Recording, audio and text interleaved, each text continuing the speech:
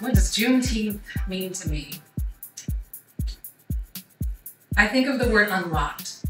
And the way, the reason I say that is because when I was in school, I did not know about Juneteenth. Yes, we talked about slavery. Yes, we talked about the civil rights movement, but I never heard of Juneteenth until I was working part time as an adult at a, you know, at, at this you know, little part time job I was doing. And this woman came up and told me was.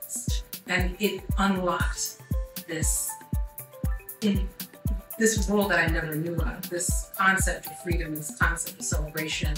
And from that point, I was, I thought to myself, what else don't I know? What else have I, what else have I got to learn? And so for me, Juneteenth is continuing learning, continuing understanding both the past and our history and the future and what we can do.